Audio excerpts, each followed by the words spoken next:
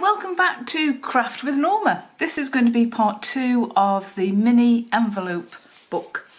So I've made the book and I've just used five of these small envelopes.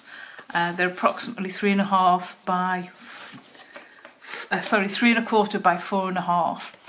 So I've glued them all together and I've gone and cut down some papers um, that I'm using uh, to just start the decoration on them. Now the pad that I'm using is the patina from uh, Funky Fossils. Ignore that information because that's wrong because it says 6 by 6 but the pad is actually 8 by 8 But I bought these uh, from a crafting fair and he did explain to me that the um, uh, the sizes and the weight of the paper was wrong so they were uh, reduced. But that's the papers that um, I'm going to use. So first off uh, I've cut the papers down to size and I'm just going to glue these now onto the um, the envelopes. So I prefer to use a wet glue rather than um, any other form of glue because I'm trying to do my work so it will last because I have found sometimes if you're using uh, a different format of glue it can actually uh, fall apart after a, a, period of time. Let me just uh, glue on this book, there we go, so we don't get uh, glue on my backing paper. So with this glue that I'm using at the moment is my husband's um, wood glue that I found in his um, in his shed. Um, so I just wanted to use it up before it, uh, it dries out because um, uh, unfortunately I lost my husband back in 2019 so um, it won't get used on any wooden product pro projects by myself so uh, I thought I would actually use it up and I know you wouldn't mind. There we go. Just wipe it down with a, a cloth. There we go. And then to the next one. So as I say, I went to this uh, craft fair and um, locally to uh, to ourselves, and uh, I did make a huge mistake. I wanted some um, Versa, sorry, VersaFine and by mistake I bought Versamark which was totally not what I wanted but uh, never mind. Uh, and I did pick up a few other bits and pieces. And it was nice also to meet up with some um, crafting buddies that I hadn't seen for a little while. So I'm sure you don't want to see me carrying on gluing right the way through. So I'll do this piece and then I'll whiz on and uh, we'll carry on. There we go. But it's just a, a quick way to make a little book uh, and it's so easy using the, uh, the envelopes. So you can either make it into a little mini journal, a little mini book. There's so many things you can utilise it for. It can go into projects, it can be a project on its own right um, as well. So uh, on my sister channel crafted by Norma. I've used the larger envelopes to make um, a junk journal. Okay so I'll see you back in uh, in a minute.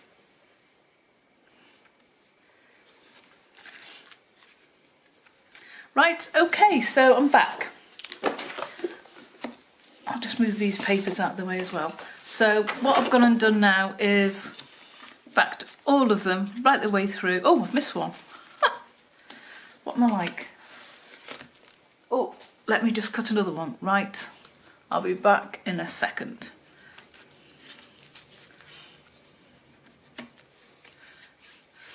Right, so we've done all of those now and what I'm going to want to do is a cover for it to um, sew it into. So what I've gone and done is measured out a piece of craft card so that it will fit in there quite snugly. So with these measuring, so that measures three and a quarter by four and a half. I've measured this out at just under seven and a half inches by four and three quarters of an inch. And I've also marked and bent, folded the paper using half an inch there to give me a little bit of a there we go, a little bit of a spine because once we filled it out I don't want it to be um, too sort of crocodile so that's what I've gone and done. Just made sure that it's all nice and level. And then I've cut a strip from the scrap to fit into there which we'll now just glue in. So we'll just glue that in. And this just gives the whoops this just gives the um, spine of the book just a little bit of uh, more strength. So we'll slot that into that little gap there so that's just a half of an inch scrap that I've used. And we'll just burnish that in with the there we go. And hey presto we've got our little our little spine done there. Okay so just while that's drying I'm going to just clip that on there so it while it dries and then I had a look through my stash to see what bits I'd got just to decorate the front and I've cut out a while back um, some squares and rectangles for another project. So what I've gone and done is cut down and measured and made sure it was all nice and straight, just a piece of it, and um, got that uh, got that ready. And all I want to do really is just trim around those corners. So I'm just going to use my little corner punch and go around the corners like so. Ooh, oh! I just haven't got strength in this thumb anymore. Oh! There we go. I'll try and keep it so it doesn't ping everywhere. And I'm going to want to put that onto the, the front cover and then I can slide in a photo or a uh, whatever that I want on the front cover. So next what I'm going to do is go round the edge on this with some distress inks.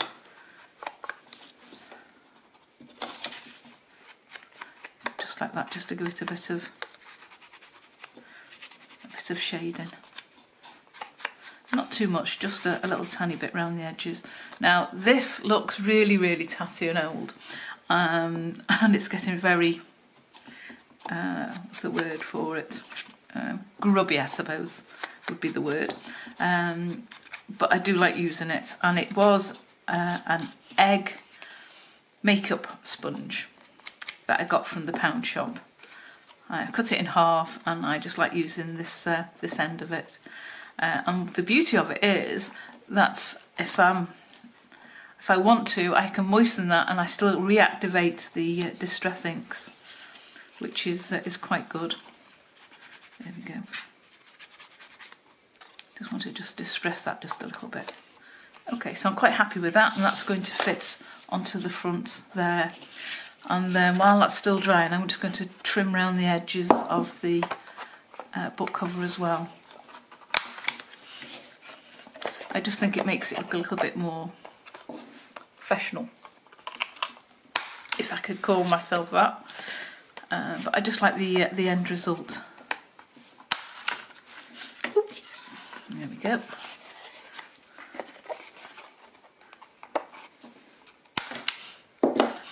And we can take these two off like that and then I can go around the uh, there, go around the edges again.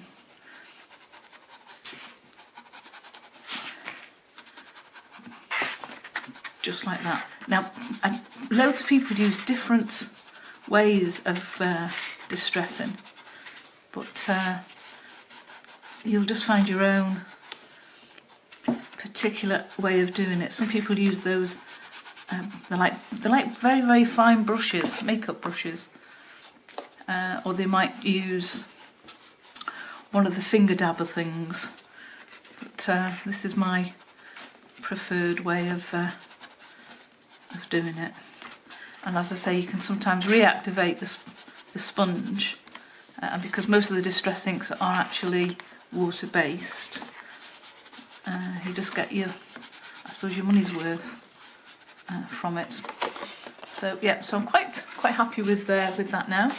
And all I'm going to do is just glue that onto the front. Uh, and what I'm going to do is I'm going to glue it just along the sides there so I can slot um, something in when we uh, decorate it.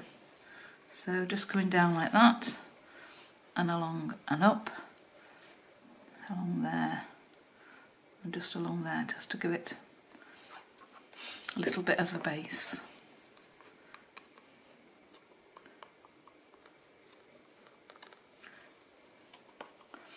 There we go. Ooh.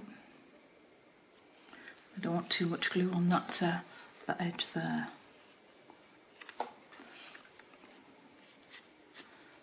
Okay. I'm going to put that down. Now I always eyeball, I don't sort of measure. There we go. And then we can decorate that up um, later on. Now the next thing I'm going to want to do is get ready to actually put my signature in. So what I'm going to do here is just quickly do a quick measurement of using the ruler there and come in and do a spot there. And then come in with my ruler again and do a little spot there. And then about halfway I'm going to go there like that. And then I'm going to use my punch to just punch out three of the holes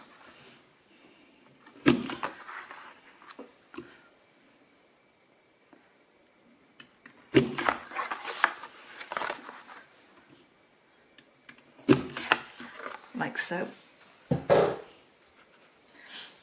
I'm just making sure that you know where the top is. And I'm just going to draw a little tiny T there to remind myself that's the top one. And I'm then going to get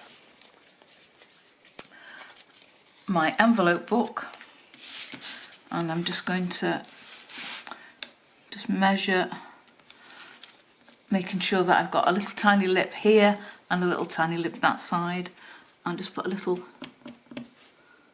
a little mark of where we're going to want to sew that in before we do that what I want to do or what I'd like to do is go along and make pockets so that's quite easy to do uh, I'm going to do a middle a top a middle and a top which is quite easy to do. So I'm going to punch out like that on that one. And then on this one, I'm going to do the same, but use on the top.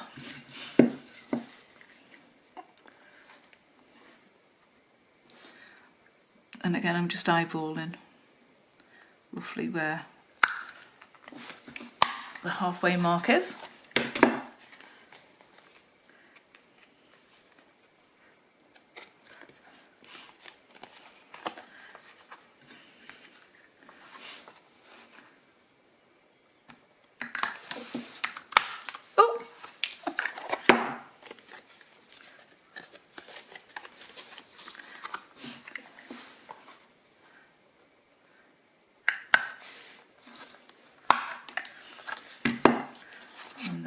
One.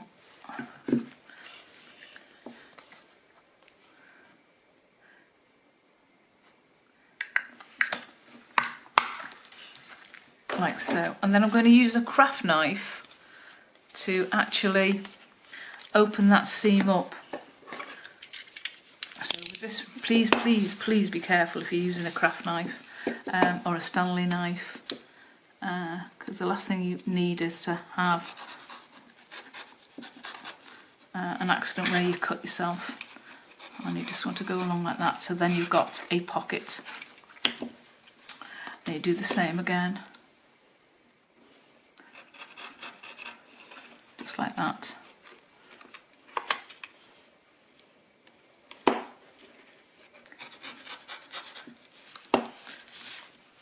And then you've got five pockets with your envelope that you can uh, add bits and pieces to.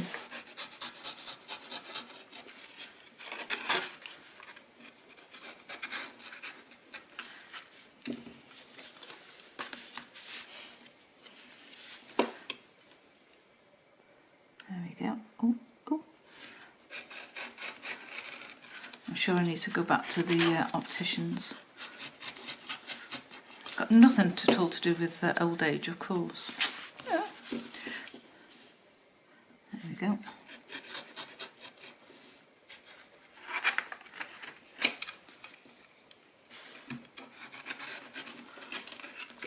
Okay, so we've now got the pockets and we've got the marks which aren't particularly very clear but making sure that your little cutouts there are on the top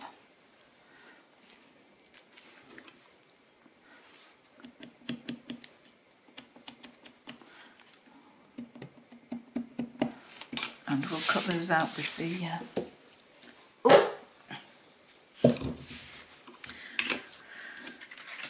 Da, da, da, there we go.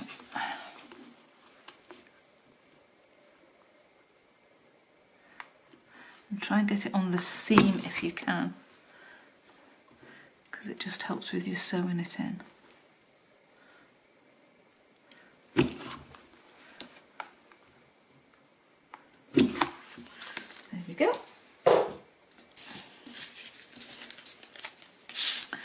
We're going to do now is just use a, again just making sure the top ones, yes it is, uh, just use some twine which I've got there and I normally do it, uh, I go one, two, three and a bit. It's usually ample. And we're just going to pamphlet stitch that in. So I don't do myself any damage. There we go. And it's quite an easy um, stitch to do. So we're going to start in the middle. So you take your needle and you're going to start in the middle. Now if you wanted to have the tags coming out that side, which I might just do just to show you. We're going to start in the middle on the outside.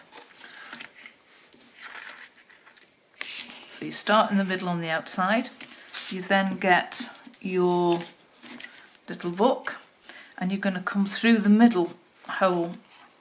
So that's middle to middle.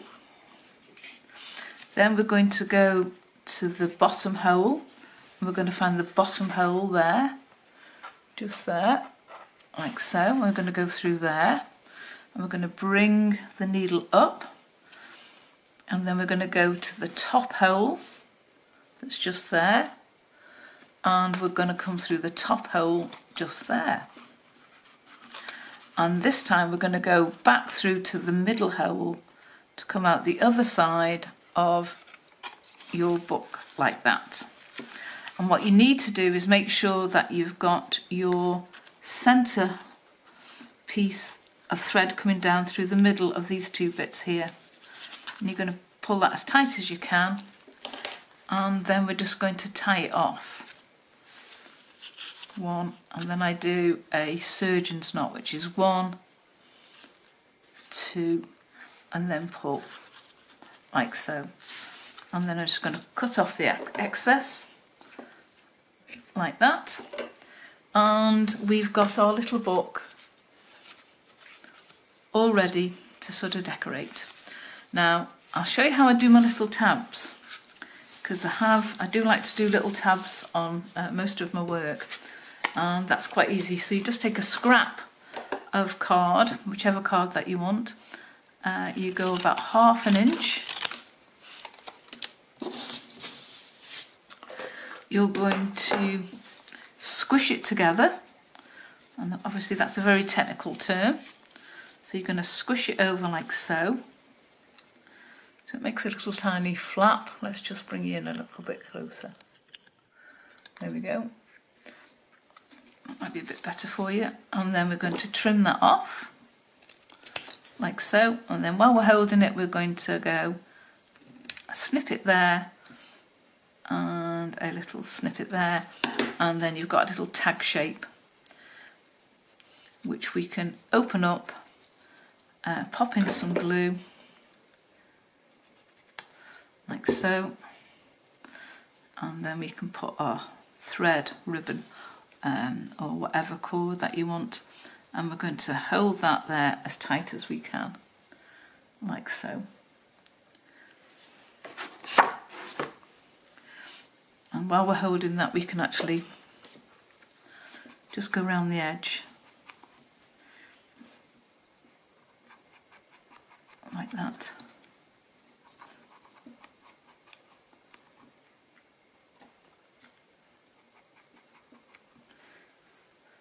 just to distress the edge. We've got a little tab and we do exactly the same again. We bend that over, give it a bit of a, a squidge, trim off the excess that we don't want. Cut off the corners, like so. Little tiny spot of glue.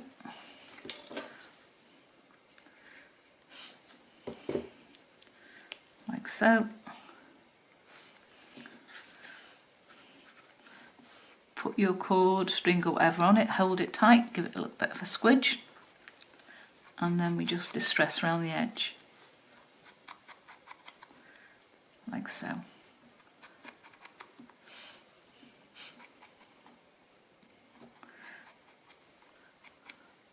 And then that's us finished our little book and it's just ready now to it's just ready now to uh, add whatever you want to your little book. One little book. Do hope you enjoyed watching um, me finish off the book and uh, I will hopefully see you at the next uh, YouTube video. Don't forget to su subscribe, can't even say it anymore, subscribe and ring the uh, bell icon because that will let you know when I've got the next um, video uh, for you to watch. Uh, it's been lovely to see you. Thank you so much and hope you follow me. Speak to you soon. Bye.